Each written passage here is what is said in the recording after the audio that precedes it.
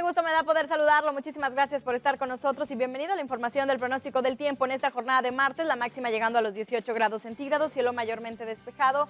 Para el día de mañana se espera que haya presencia de nubosidad mínima de 10, máxima de 22. La nubosidad hará que la sensación térmica sea menor de lo que nos llega a marcar el termómetro, así que abríguese muy bien ya para el próximo jueves. El cielo mayormente despejado, mínima de 12, máxima llegando a los 26. Hay un incremento favorable en las temperaturas, pero solamente por la tarde. Ya por la mañana y por la noche nuevamente continúa el descenso en las temperaturas. Ya le decía, no son temperaturas muy frías, pero sí algo frescas, sobre todo por la mañana.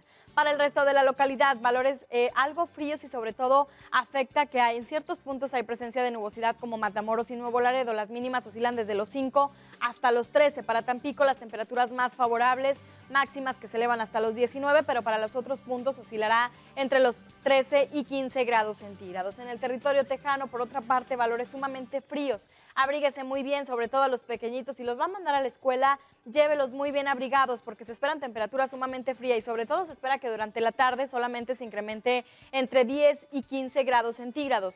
Eh, mínimas entre los 2 y 7 grados y ya para la tarde le comentaba solamente se incrementa hasta los 15, favorece el cielo mayormente despejado en la mayor parte de la localidad, pero en el resto de la República Mexicana hay presencia de nubosidad y la humedad se encuentra elevada principalmente al norte y noreste de nuestro país.